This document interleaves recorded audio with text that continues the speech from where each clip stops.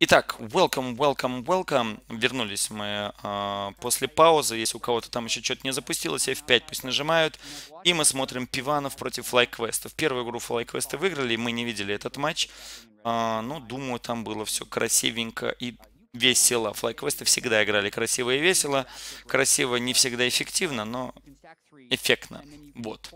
И Шака они пикали, и Зедов они пикали, и Джарванов они пикали, и чего они только не пикали. Мамку нашу только не пикали. Ну так вот, пиваны э, находятся в том же положении, что и команда FlyQuest. Оба, обе эти команды, какая из них бы не проиграла, сегодня окажутся позади э, своего визави. У них одинаковое количество очков. И, соответственно, они окажутся на девятом месте девятое место будет у них, а победитель э, может стать восьмой, может седьмой командой, но это не имеет значения, восьмое, седьмое место никуда не отправляется, просто остаются в ЛЦС. Девятое место остается пока в ЛЦС на недельку. Через недельку у них будет матч э, переигровки с Челленджер командой. И если они выигрывают Челленджер команду, они остаются тоже в ЛЦС. А вот десятое место вылетает из ЛЦС, и десятая команда это команда Team Liquid. Но Team Liquid э, нам тут их спонсор вчера приходил, давал интервью, говорил, какая круто, какой у них крутой коллектив, как много бабок у них есть, каких игроков они накупили. Короче говоря, намек был понят. Ребят, они просто купят себе снова слот. Все понятно. Команда Team Liquid купит слот, может быть, снова новых игроков будет набирать, но без Team Liquid э, следующего сезона не будет, я думаю. Ну что ж, у нас тут, давайте посмотрим на сетапы. Lemonation взял вы не поверите, но своего самого старого мейнера, мейн-чемпиона, Lemonation знаменит, даже если вы зайдете на, по-моему, геймпедии, эта информация, я оттуда ее брал, знаменит тем, что он был первый игрок на планете, который взял какое-то число по Элла, играя только одним чемпионом, и этот чемпион была Жанна.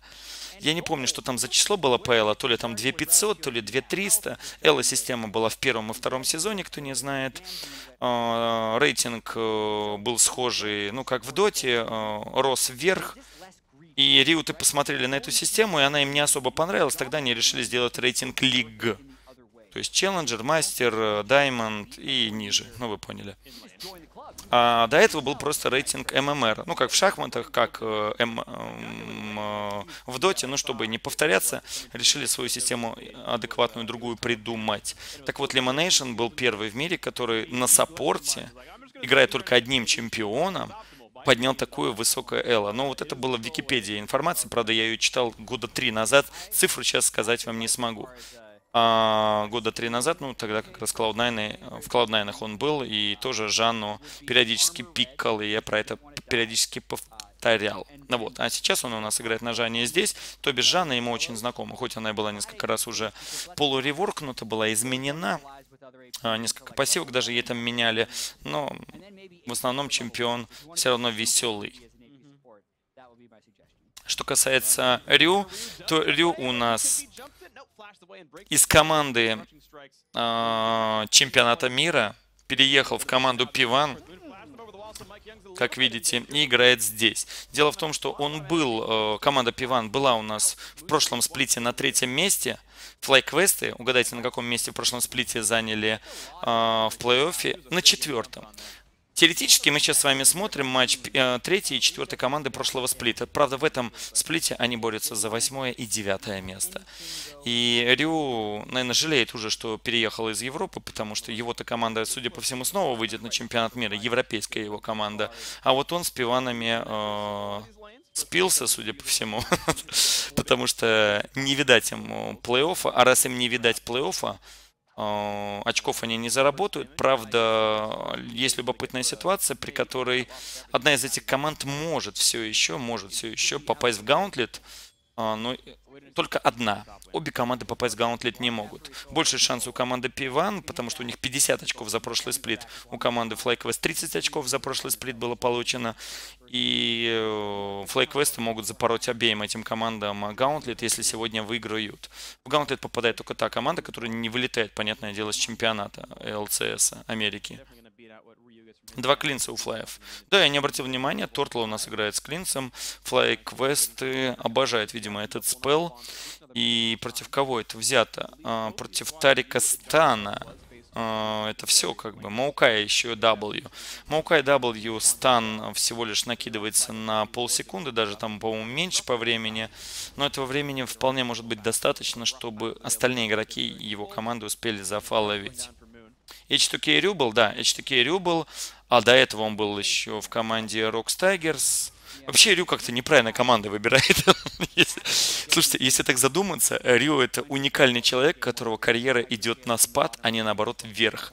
То есть, знаете, обычно есть игроки, которые начинают там в слабом клубе своего города, там а, потом он перебирается там в средний город, потом перебирается там в столицу, потом едет уже на международку и начинает там играть. Так вот, Рю начал в Корее, играл в команде, которая была топ-1 Кореи, которая проиграла, правда, финал, но топ-1 они заняли в регулярке, проиграла финал команде СКТ. Поехали тоже на чемпионат мира, выступили там достойно, но все же не на первое место. После этого он переехал в Европу, где еле-еле все же нашел себе команду, в которой смог попасть на чемпионат мира. Ну, а у нас килл произошел на топе. Мяукай сделал врыв в Болса под ускорением Зига, и мы с вами должны обратить внимание немножко на топ-лейн.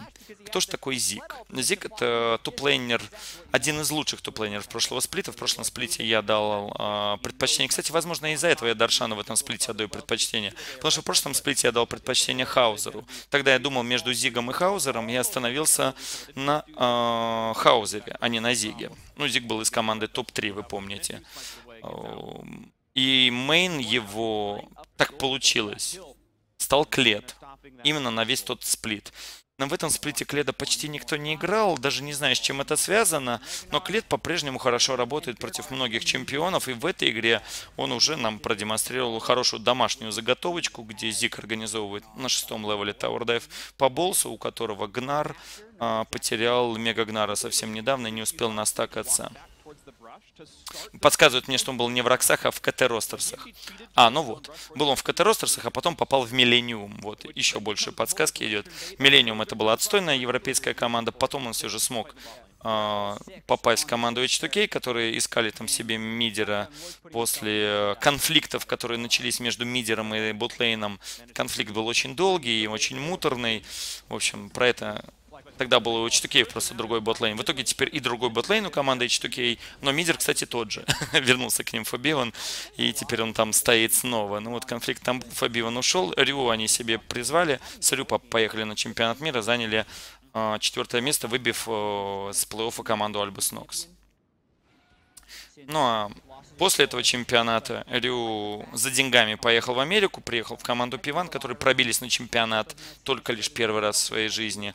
И на чемпионате они выступили, я уже говорю, на топ-3. Правда, вот в этом сплите провал, а этот сплит самый главный. Все ж таки какие-то жесткие такие размены, знаете, для человека, который, ну, не смотрел Лигу Легенд или мало смотрел просто матчи по Лиге Легенд, э, будет что-то за вспышки там происходит на ботлейне. Тут какие-то Э, хрени выскакивают квадратные севирки из тарика. В этот момент какие-то ветерки летят, какие-то щитки, какие-то вспышки, э, выстрелы.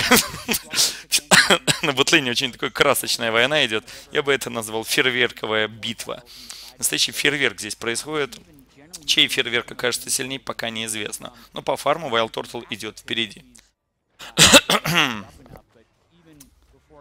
Uh, Wild Turtle не то чтобы это мейн его чемпион Джин, но на нем он очень хорош. Болса здесь опять ловит Зик, притягивает его к себе и, скорее всего, снова даст сейчас ульту. Снова Майк Йонг сможет сделать Tower. Опять Рю теряет э, вышку. Ну, то есть, получается, вышка делает выстрел по тебе, по Скарлу. Скарл э, умирает, и вышка теряет э, к тебе всякий интерес, и поэтому не будет там трех-четырех вышек э, выстрелов вышки подряд по тебе, а она переключится дальше уже на другого игрока и получается второй gank подряд, второй gank с линии организовывает через ульту Зиг.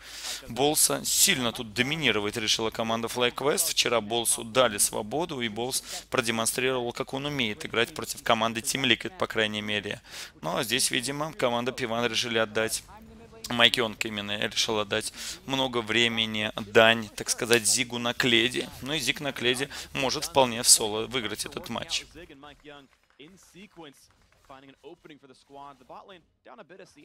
А ты знаешь, какой троллинг, когда тебе Каин и Клет давит? Я знаю, какой троллинг достаточно даже через Элизу делать дайв абсолютно любого чемпиона до последнего. Просто получаешь урон, и он уже уверен, что ты умер. Даже учитывая, когда ваши крипы еще не, под, не пришли, ты просто за Элизу делаешь РПЛ вверх, а по приземлению вышка начинает бить сначала пауков, а потом только Элизу. Так что... Я это за Элизу знаю. А твои там истории про этих чемпионов Кайна и Кледа копеечные. У нас тут э, на Тортла флеш не будет делать Тарик. Ну ладно. Болс, по предметам он уже отстает, вы можете видеть. Вроде бы по золоту должны быть они вровень, ну, потому что там 100 на 100 фарма. Но так как там был килл ассист, уже есть Блэк Кливер, у Блэк Кливера нет все еще у Болса. А, линия, честно, не знаю, за кем, за Кледом или Гнаром, а, но по пониманию того, что происходит, скорее всего, в тимфайтах Клед будет менее полезный, чем Гнар, потому что Гнард э, может прописывать станы, принимать на себя скиллшоты, а Зигу, он как сиверка может давать только ускорение, а у вас уже есть сиверка в команде. У них вообще комбинация идет, смотрите, Сиверка плюс Клет. Но будет шикарная инициация от команды Пиван за счет всего этого. До шести предметов, если доживет команда FlyQuest, я думаю, лейт-то за ними. Даже учитывая, что у них нет э, большого физикал дэмэджа от Джина, и Джин реально страдать будет от этой Северки. Но большого урона и магического нет у команды Пиван. А они будут влетать в трех дисенгейджеров. В Жанну, в Ариану, в Гнара, ну, либо Зака, их можно вместе объединить. Гнар и Зак, как дисенгейджеры, тоже классно работают. Подкидывание достаточно танковые чемпионы. Понимаете, да? Это жутко неприятно так вот в лейте будет. Пока в медгейме-то у них будет сейчас Power Spike, Корки, Trinity Force, Маукай там э, просто за счет левела будет наносить еще урон, хоть он играет в танка первые ульты Тарика, который будет еще успевать давать эту ульту и не умирать перед, перед этим. А потом-то Мариана будет давать по нему ульту, и еще не факт, что он будет выживать. Но с другой стороны, если все сделать идеально за команду Пиван, например, Тарик нажимает ульту, После этого нажимает ульту Северка, после этого нажимает ульту Клет. И только тогда они бегут туда, и как раз они за 2 секунды добегают до оппонентов и Тарик ульта срабатывает. Это будет интересно. У нас тут врыв делает Зак, но попадает в подкидывание. Правда, Зак выкидывает на своей ульте трех игроков и флешится зачем-то к ним потом снова. А, Мун. Эм, ладно. И чушь какую-то сейчас сделал Мун, начиная с того, что он сделал врыв в двух... Ладно, он делал в двух игроков, попал в трех. Ну, допустим. Но это было тоже глупо. Я, кстати, не знал, что откинуть можно заковский, заковский прыжок за счет Маукая. Это же Маукай откинул, да, я так понимаю? Давайте смотреть еще раз. Маукай они не увидели, по Маукай дали подкидывание, и Маукай... Да, Маукай это отменил.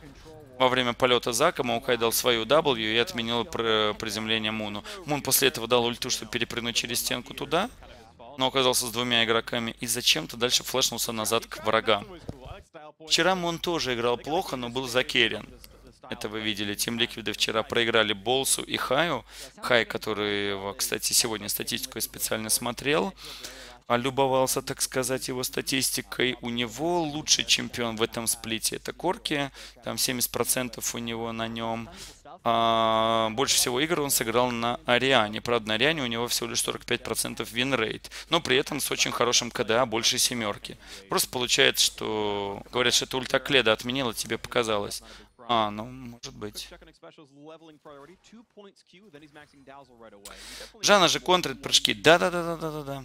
Только Жанна, как бы она с Заком в одной команде здесь. А так, да, Жанна контрит прыжки, все верно. Она и ультой может откинуть, и э, своим ветерком может откинуть тебя. Кстати, обратите внимание, на стандартном скине LemonNation играет Жанной. Абсолютно стандартный скин, ничего здесь не добавлено. Белая Жанночка.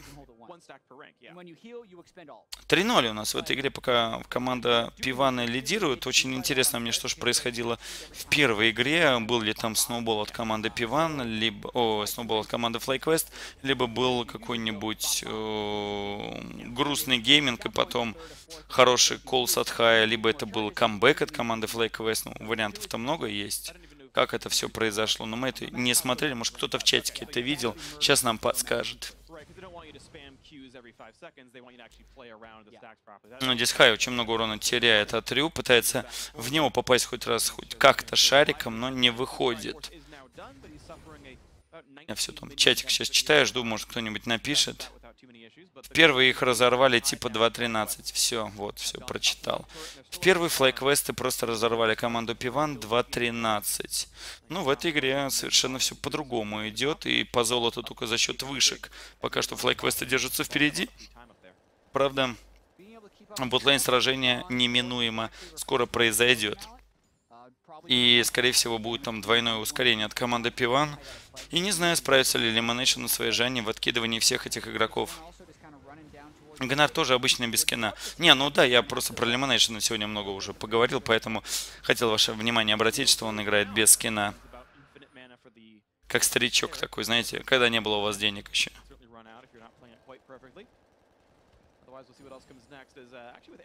Интересное было интервью, а, которое вы, наверное, не смотрели. Я его смотрел, потому что на отдельном канале. У чувака, который а, с ИЭМа брал интервью у всех, ну такой рыженький мужичок, интервьюер, он а, раньше у Старкрафтеров брал интервью, сейчас на Лол тоже переключился. Ну ладно, не до этого. Интервью было про Wild Turtle, сейчас про него расскажу, если битва закончится. Но сначала надо ей начаться, этой битве. Битва начинается, Мун влетает Тортла, Тортл прожимает клинс, отбегает в сторону, но Рю, скорее всего, его добьет. Отфлешивается у нас Тортл, Валкирию прожимает Рю, уворачивается там Тортл от парочки автоатак. В этот момент Тарик погибает. Под вышкой идет шикарный шоквейв от э, Хая, но Хай здесь один. Хай выфлешивается, убивает очень перед этим Зига, но Зиг выфлешивается и остается в живых, не погибая. Босс становится мегагнаром, дает стан по двум игрокам, при этом погибает Клет, случайно через стенку погибает Клет, и Моукай специально погибает об стеночку, именно его станил Balls. Заканчивается у нас этот team fight, минус 3, минус 2. Два игрока команды FlyQuest, а именно их керри, погибли.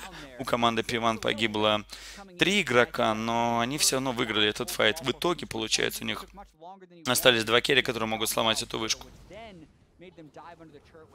Может ли во время своего прыжка Зак флешнуться? Нет, не может. Насколько я помню, не может. Он может до этого флешнуться, но тогда ты собьешь сам себе ешку э, и по приземлению можешь флешнуться.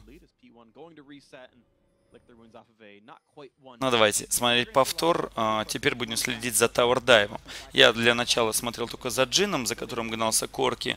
А теперь будем смотреть, что здесь произошло снизу. Майк Йонг дает ульту и цепляет двух игроков. Эроу вместе с Экспешалом делает улын, но остаются без ХП, потому что ульта не сразу сработала. И после этого стяжка идет Арианы, которая отталкивает Майк Йонга, который на флеше в нее ворвался. И Болс, к сожалению, неудачно прыгнул. Хотел на Эроу прыгнуть, но не смог. Зато сейчас увидите, как умер Зик. Зик умер грустно и случайно. Это была случайная смерть Зига. Я думаю, Болс даже этого не ожидал. Но Болс после этого файта становится 3-2-0. А, и у него уже появились два предмета, в отличие от Зига, у которого нет предметов, потому что Болс фармился это лучше. Болс реально классно начал играть. Вот реально классно играть начал. И мне вот обидно, что команда в плей-офф никак в FlyQuest не попали. А, и мы с вами просто больше Болса не увидим. В этом сплите уже все. Это последние игры для обеих команд. Но для одной команды еще будет переигровка. А, ну, надеюсь, не для FlyQuestов. Хотя тогда бы мы с вами увидели Болса против... Ух! Это там же такие top laner ы жесткие. Муна против Данди увидеть? Не, слушайте, что-то Муна против Данди не хочется смотреть. Я так подумал. LemonNation против... Э, как его зовут-то, боже мой? Против Медлайфа. Не, что-то как-то не то. Не-не-не, пусть лучше пиваны там бегают, у них молодая кровь в команде, у них есть MikeYeung, ему, э, ему по кайфу будет играть против э, Данди. А Муну, Муну уже не надо. Так вот, в интервью uh, Wild Turtle сказал, что он хоть и играл в команде TSM, он хоть и играл в команде... Uh, ну, кто не помнит. Wild Turtle начинал свою карьеру uh, в команде Quantus Gaming, Vantus Gaming, я не помню, как она называется. Короче, команду, которую собрал Хай. А, и WildTurtle именно был тот человек, который послал Хая нахер, сказав, что тот никогда в жизни не попадет со своими shotcall ами а, в чемпионат LCS. Так вот, WildTurtle э, после этого рассорился со всеми игроками команды Cloud9, кроме LemonNation. И про это даже Сники однажды жаловался на стриме, что он вообще solo queue редко играет с Лимонейшеном. LemonNation предпочитает играть всегда с Тортлом а, дуо. И здесь Тортл сейчас умрет, да. Так вот, и в этом интервью Тортл сказал, что он вообще Лигу Легенд хотел бросать еще в четвертом сезоне, в пятом сезоне. В общем, каждый сезон он хотел ее бросать. И даже когда Lemonation э, сказал, что бросает игру, у Тортла тоже закралась эта идея бросить ее. Но каждый раз, играя с Lemonation на бутлейне Дуаку, ну, в Солоку просто дуо. Они там по скайпу общались, ну или по MSN, ну чем там пользуются в Америке. А, всегда Лемон его отговаривал, говорит, ты-то что бросаешь? Это я тут старый пердун, у которого только есть понимание игры, а механика уже нулевая. Но ты-то все равно божишь, играй дальше. То есть, как бы Lemonation был именно тем игроком, который заставил Wild Turtle остаться, по сути, все еще в Лиге Легенд, а может зря. А может зря, ребят, да? Вот такие дела. Настоящая мужская дружба. Мы все поняли. Да-да-да. Wild Turtle играл в 10 разных командах за свою карьеру. Ну, поэтому так и получается. Понимаете, когда к тебе приходит тренер и говорит, ну что, давай будем тренировать новых чемпионов. А он говорит, знаете, а я как бы хочу уходить в конце этого сезона. И тренер такой, серьезно, уходить в конце этого сезона? Ну ладно. Давай тогда не будем тренировать нового чемпиона. Забыли. А потом он поиграл с Солоку и такой, блин, я хочу все же еще поиграть с какой-нибудь командой. Пойду в ту команду, пойду в эту команду. И таких вот все. Elimination и зарплата. Не, ну понятное дело, что зарплата тоже мотивирует человека играть здесь. Но он в интервью сказал именно Elimination. Ну, правда, это было интервью как раз приурочено к тому, э, к началу сезона, когда, началу этого сплита, когда Wild Turtle попал в эту команду. Ну, и там были тоже эти вопросики по поводу того, кто круче, ты или Double Lift. Он ответил, что мы разный стиль, бла-бла, бла-бла. У нас тут, кстати, пока я все эти шутки вам рассказываю, прибаутки, счет-то выровнялся. FlyQuest хоть и проиграли свой тимфайт тот самый, но по золоту остались вровень.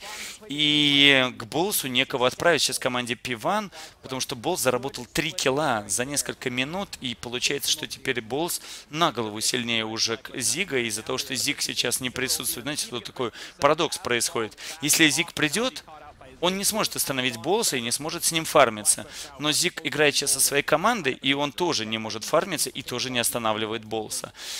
А Болс все дальше и дальше уходит от него по золоту, и сейчас такая будет точка, может быть, даже уже невозврата, где Зик просто будет кричать уже «помогите», как бы мне нужен еще хоть какой-то игрок, чтобы остановить этого Гнара. Гнар у нас сейчас уходит, правда, в инди... не индивидуальный предмет, а в тимфайтовый предмет, в Гаргулю. Дайруса никогда не забуду. Ну, Дайрус, он все еще в Лиге Легенд, не волнуйтесь, он стримит попытался с командой Delta Fox выиграть чемпионат. Челленджер Америки. А, победа произошла, но только над самим собой. Заняли они э, шестое место из шести команд. Прилетает Болс и погибает. Правда, Жанна его спасает. На какое-то время Болс не успевает дать свою ульту. И теперь у Жанны могут возникнуть проблемы, потому что за ней устроили погоню. У Жанны есть хил. Жанна будет его прожимать и уходить в сторону. Пока она уходит в сторону просто от Кледа. Клед цепляется за Муном. Мун выпрыгивает из этого всего. Нашор был отменен. Стяжка Хая, но мне не очень нравится эта стяжка, которую он дал. Правда, дал он ее, чтобы Тортл начал стрелять. Тортл стреляет, но все выстрелы идут в экспешала. Тут, походу, 2-0, как думаешь? Да нет, видите, пиваны резким нашором э, всю эту тут спокойную, скелючуюся игру команды FlyQuest разломали. И вынудили Болса прилететь, и теперь у Болса нет ни телепорта, ни жизни. Он сплитпуш не может начать. Он-то должен сейчас идти вниз и ломать там две вышки теперь снова. Что там со старыми псами типа Ходшота и Сент-Вишеса? Сент-Вишес тренер команды. А, какой, правда, не помню, ребят, какой он тренер команды. Он, по-моему, помощник в Dignitas, если я не ошибаюсь, помощник в Dignitas, и основной тренер команды из Challenger какой-то. А Hotshot GG владелец команды CLG. как и Реджинальд, владелец команды TSM, Hotshot GG, владелец команды э, CLG. Они нигде не являются ни тренерами, ни аналитиками. Кстати, новенькая новость появилась у команды Cloud9. Появился еще один тренер. И теперь у команды Cloud9, если так задуматься, три тренера, ребят. Три тренера. Это реально как-то любопытно. А знаете, кто стал новым тренером их? Вест Райс. Кто его не помнит? Зря. Вест Райс, саппорт, правда, не помню, в какой команде он играл возможно, что-то по типу Миллениуме. Вест Райс приехал в команду Cloud9, и у него тоже было интервью взято, но оно там было совсем коротенькое. Он сказал, что э, он будет не основным тренером, а тренером, который будет заниматься разбором матчей на ботлейне команды Cloud9. Хотят усилить Cloud9 перед плей-оффом свой ботлейн. Это не на всю жизнь типа тренер, а такой типа купленный на время, там на месяца два. А, видимо, э, чемпионат Америки, плей-офф, и если команда Cloud9 проходит на чемпионат мира, то и перед чемпионатом мира. Он будет именно аналитиком того, как надо играть на bot lane, что надо делать саппорта, что надо делать Sneaky постоянно. Westrice. Помимо этого, у команды Cloud9, кто не знает, есть э, тренер индивидуально по джанглерам. И есть еще тренер Риппер, который был в свое время top laner ом. То есть, получается, у команды Cloud9 не хватает только тренера для Дженсона. У нас здесь Улынчик пошел от команды Пиван под максимальным ускорением дает у нас Гнар ульту, но все это было время Тарика ульта включена, и поэтому урона Пивана никакого не получили. Правда, теперь они жутко биты, и пойдет джиновская ульта, которая будет задевать опять только лишь XP шала. Но у Муна есть возможность сделать прыжок, он его организовывает, попадает в стан, правда, команда FlyQuest, но успевает они убить, как мне кажется, Майкионга. С флеша это делает Тортл, экзост получает он от XP шала и уходит в сторону. Болс нет, не пойду дальше. Я хотел сказать, Болс очень битый, он не может участвовать сейчас в файте, он только кидает бумеранги. Дженсен же сам тренер СКТ, ну да.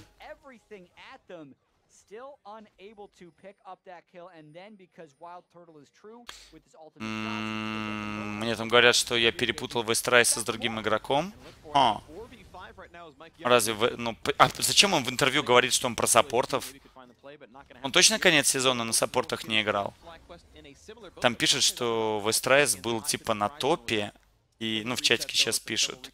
Ну, просто он в интервью, э, это интервью недавно я посмотрел, где-то, сколько, две недели назад. И он в нем говорит, я специально был взят для того, чтобы... Ну, ладно. Короче, я не буду спорить. Может быть, он, э, ну, в solo queue переключился на саппортов.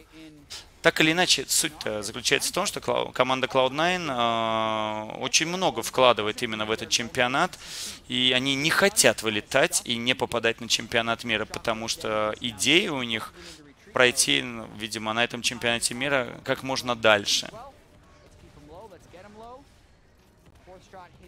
Еще бы найти стрелка хорошего для команды Cloud9. Да не, со, со стрелком команды Cloud9 все хорошо.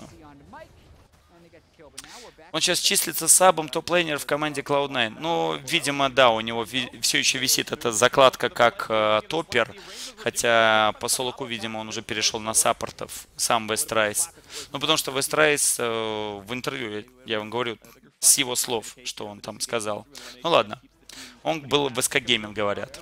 Ну ладно. У нас тут выручек идет. Э, команда FlyQuest может потерять Зака, но Зак-то это тот чемпион, у которого есть пассивка. Босс пока очень битый, отходит в сторону, выживает. Зак тоже выживает. И команда FlyQuest теперь будет организовывать камбэк. Но в этот момент Тортл попадается. У него не было флеша, не было клинца. За него через второе ускорение уже Кледовская добрались и убили. Погибает Вайл Тортл и команда FlyQuest не смогли два подряд тимфайта выиграть, потому что в первом тимфайте им пришлось несколько дисенгейдж флешей потратить. В этот раз этого всего не было. Майки Онг тут гнался за Хаем. За Хаем продолжает у нас гнаться Рю, но побаивается туда на Валкирии впрыгивать. Тортл руинит максимально. Ну, он занял позицию не самую лучшую, но руина здесь никакого не было.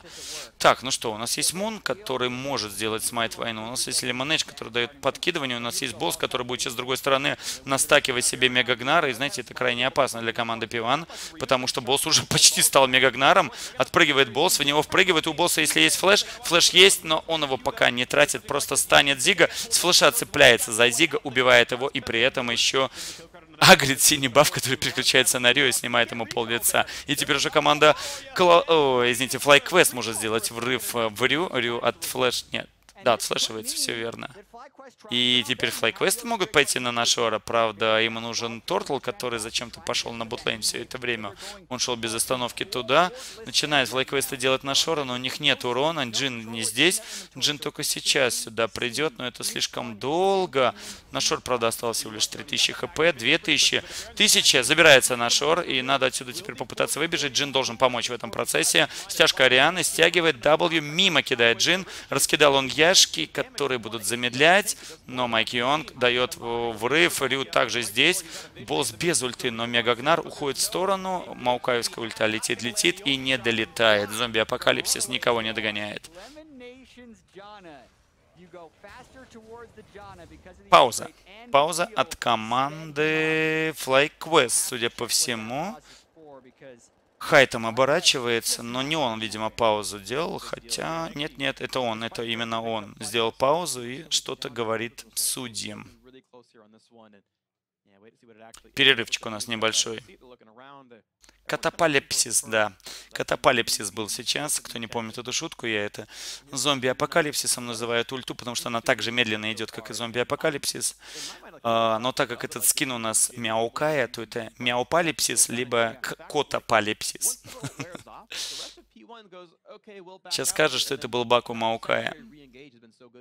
Нет, так э, это не пиваны э, паузу нажали, это как раз таки FlyQuest нажали паузу. Только непонятно, что там. Я сейчас буду подслушивать английских комментаторов, чтобы понять, что случилось. It just doesn't seem like Phoenix One can get a clean pick, right? They're not getting a Terex stun onto someone. да, FlyQuest Хай говорит, мы им заплатили. Э, кстати говоря, вчера Сейчас шутку доделаю, ну то что... Не-не, это просто про хаевский реингейдж, ульту, бла-бла.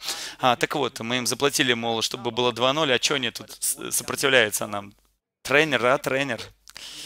А, так вот, по поводу вчерашнего мини вот этого дайва. Дайв это от английских комментаторов, э, от этих вот ведущих есть э, маленькое телешоу. Они обсуждают всякие новости. Они обсуждали как раз Team Liquid, которые объявили, что у них огромная куча денег и новых спонсоров они себе заработали. И как раз э, они вылетели из сезона. Скорее всего, они купят себе слот просто снова. А, также обсуждали команду TSM, у которых тоже довольно неплохие спонсоры. И они сказали про команду FlyQuest, что до сих пор неизвестно, кто же является спонсором команды FlyQuest. Это был какой-то индивидуальный чувак, который заплатил просто бабки за эту команду, по служкам, э, ну, по служкам, это которые я знаю, э, это когда вот на Reddit эта информация с появлением команды FlyQuest появилась, это какая-то компания, э, то ли шведская, ну, короче, скандинавская авиакомпания. И ее владелец, мол, купил команду в LCS Америки и назвал ее FlyQuest. Вот. А других спонсоров у них так и нет у команды FlyQuest. Вот в чем прикол. То есть они как раз говорили, что вроде теоретически они себе позволить, наверное, не смогут слот, если вылетят. Купить команда FlyQuest не сможет себе позволить слот на чемпионате Америки. Но она все еще живет одним этим вот миллионером, который вот потратил деньги. Надо было ему назвать, конечно, команду своим именем. Абрамович. Ну, вы поняли. В общем, какой-то местный Абрамович там. Как тот Челси покупал, а этот, не разбираясь в Лиге Легенд, потратил деньги на команду FlyQuest. И в первом сплите они выстрелили, во втором провалились, но... Скорее всего, вот по тому, как идет э, схема этой игры, лидируют они 1-0. Сейчас у них Нашор. Чуть лучше у них setup в late game е, потому что лучше их disengage работает, чем engage команды Пиван, как мне кажется. Э, вполне могут сохранить слот на LCS, а слот на LCS сохранен, и это уже прибыль, ребят, это уже реальная прибыль. Но они и так сохранили слот в предыдущем сплите, и тоже была прибыль. Расскажи про коров этих команд. Коров? В смысле? Кор чемпионов ты имеешь в виду? Или кор предметы, которые надо собрать? Что ты имеешь в виду? Мун, например, Зак это его не кор чемпион. Синергия у него с ним слабая. Болс, я, честно, крайне удивлен, как он так начал играть, потому что до этого Болс у нас играл э, что в Cloud9, что во FlyQuest в прошлом сплите, полтора чемпиона и их не очень удачно. А его мейн, самое главное, это Rumble. Сломали два, две вышки команды FlyQuest на ботлейне, смещаются сейчас на мид, чтобы поломать с этим же нашором мидлейн вышку. И видите, команде Пиван не сделать инициацию. Они не боятся нашора, они не могут просто найти нормальный врыв. Когда босс находится в желтой форме Мегагнара и уворачивается от скиллшотов, ворваться вам нельзя, потому что вы ворветесь, у босса будет сразу Мегагнар. Теперь босс теряет Мегагнара, но ворваться нельзя, потому что оппоненты уже ушли. И вот как бы пиванов очень маленький вот этот интервал врыва, которым они могут воспользоваться. Дисенгейдж от Джаны, дисенгейдж от Ариановской ульты, дисенгейдж от Гнаровской ульты, и вы просто сразу потеряетесь. За такое классное фармится Эру, посмотрите. Хай повторяет судьбу Гриффита, если понимаешь, о чем я. Я, честно, не понимаю, о чем ты. не знаю, кто такой Гриффит и откуда ты такие имена знаешь. Ну, у нас три, три дракона за командой FlyQuest. А у команды Пиван в лейте есть только Севирка. А, Северка, конечно, хороша. Если будут какие-то флангующие инициации, вот как было тут парочку раз, они цеплялись за Джина, цеплялись за Хая, то Северка, ну, просто разгромит всех. Она очень быстро избавится от Рианы, Жанны и того же самого Джина, а потом оставшийся Зак с Гнаром ничего ей не сделают.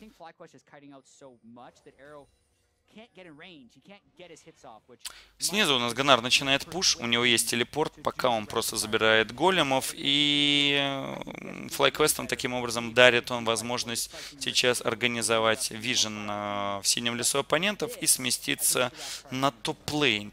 Когда они сместятся на топ-лейн, будет реально такой пуш 4-1, где Кледа ну, будет страдать от Гнара, но пока Гнар туда идти не может.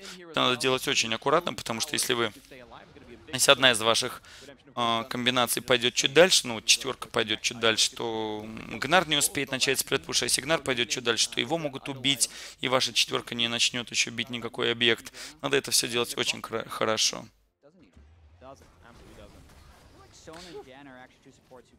Ну ладно.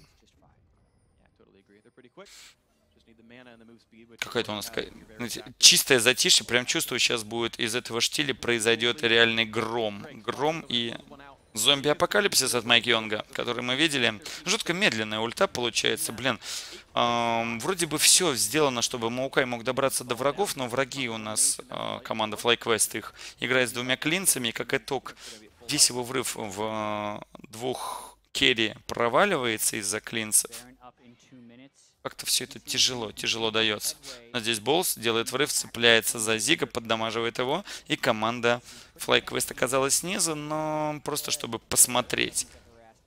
Посмотреть, как будет реагировать команда Пиван на это ротации. Ходит туда-обратно, туда-обратно. И теперь обратно на мид отправляется команда FlyQuest. Пиваны также идут за ними, но постоянно идут позади по времени. Элдер Дрейк появится не скоро, а на шорт через полторы минуты. Ну и решает команда FlyQuest сделать рекол. Late game начался, ребят, официально. Для Болса он купил э, первую часть последнего предмета. Примерно так же у нас Зак себя чувствует. Ему еще не хватает до Гаргули немножко денег, но скоро доберется. И Хай у нас уходит в Rabadon. Следующим предметом есть у него уже Void Staff. Рю у него power spike и, в общем-то, закончились. Он все еще наносит много урона, но это Corki, и корки довольно ограниченный в лейте. Если он доберется, конечно, до Риана и до Джина. Кстати, Джина он проиграет. Если он доберется до Джина, то это Джин его убьет. А, ну, если, конечно, Джин не профукает этот момент. А до Ариана, если он доберется, то теоретически Ариану он может еще убить. Но только при условии, что она не потратит ульту. Пиваны добились какого-то такого маленького простора, начали тут выходить даже из подвышек, подпушили mid lane и все. Почему Aegis Кледа собирает, а не Тарик? Да, у нас Aegis собирает действительно Клед. Тарик у нас что сделал? Redemption, чтобы был э, усиленный отхил для всей своей команды. Собрал еще Ардентку, которая на Тарике и так работала. Теперь еще и усиленный отхил будет Redemption на... Эм, Вообще, я не понимаю, зачем ему этот Locket нужен, учитывая, что Locket уже есть у Маукая. Кледу надо было позаботиться о предметах, которые помогут ему выживать, а именно Guardian Angel. Как бы это был бы лучший вариант. Ну, может быть, он хочет добавить себе немножко Магреза, он тогда был Спирит Визаж.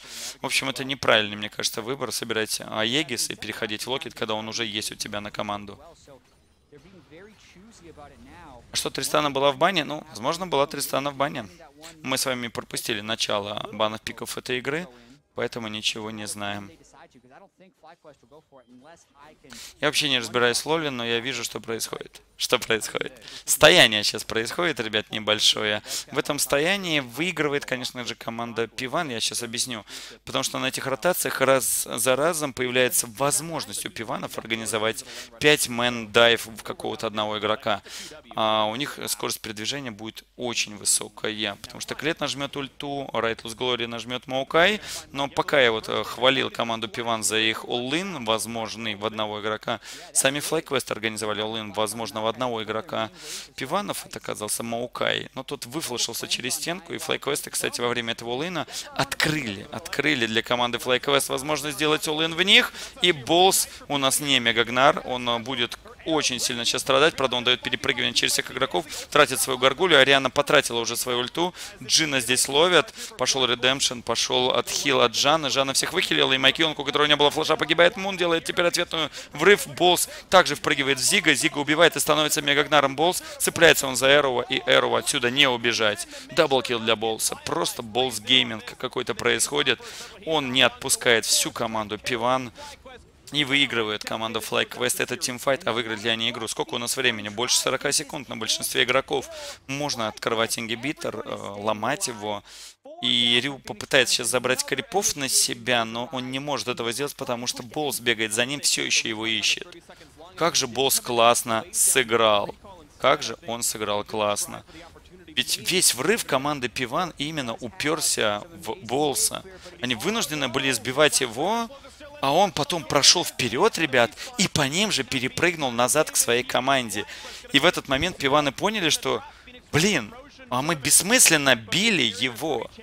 Просто бессмысленно били Гнара. Гнара настолько, что поимел. Ну, а пиваны реально оказались полным отстоем. Они проигрывают игру команде FlyQuest. Майк Йонгу надо давать керри чемпионов, не надо играть через танков. Улыбается у нас э, Зик, улыбается Майк Йонг, а вот недовольный сидит у нас, ну, что-то тут расселся, Эроу. Я понимаю Эроу, я понимаю Лиру, я понимаю ребят, э, э, тех игроков, которые в этом сезоне приехали в Америку. Не знаете, как вот этот есть эта тема, там 60-х годов, ну, не 60-х, а 70-х это скорее годов была тема э, «Американская мечта», что они приехали в Америку и станут они самыми богатыми, самыми красивыми, самыми умными. Так вот, Эроу сейчас сидит и думает про себя, какого хрена я сюда приехал, в Америку, в этом сезоне? Сидел бы сегодня в корейской какой-то команде и побеждал бы с ней. Какого хрена я уехал из команды э, по-моему, он в Роксах был, да? Не, этот был в КТ Ростерсах, Эру был в КТ Ростерсах. Лира там сидит и думает, какого хрена я уехал из э, команды Африка Фриксов. Африка Фриксы заняли пятое место и будут играть с командой... Э, а вот и спонсоры, видимо, команды FlyQuest. Не знаю, кто это такие. Ну, это, видимо, дедушка Хая. Хая вроде с дедушкой жил. С девушкой сейчас живет, но раньше жил с дедушкой так вот он меняет дедушку на девушку. Так вот, э, Лира был в команде Африка Фриксов, и Африка Фрикса будет играть с командой СКТ за выход в следующий круг. Просто, получается, они выбрали деньги, ну и тогда не надо удивляться, что у вас здесь что-то не получается. Поехали-то они явно из Кореи не от хорошей жизни, от того, что они э, считают, что с теми командами тяжелее попасть на чемпионат мира. Приеду в Америку, смогу поднять команду со дна, поеду на чемпионат мира и плюс денег больше заработаю. А приезжают, поднять команду со дна не получается. Деньги есть, да. Ну, получается, что ехали только ради денег.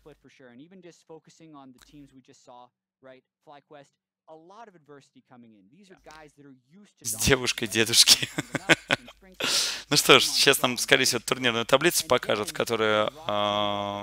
а, я вам уже, в общем-то, несколько раз рассказал, но хочу, чтобы она под запись попала. А пока немножко рекламы.